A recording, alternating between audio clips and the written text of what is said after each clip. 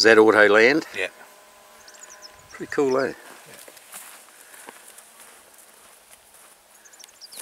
Yeah, so everything works fine.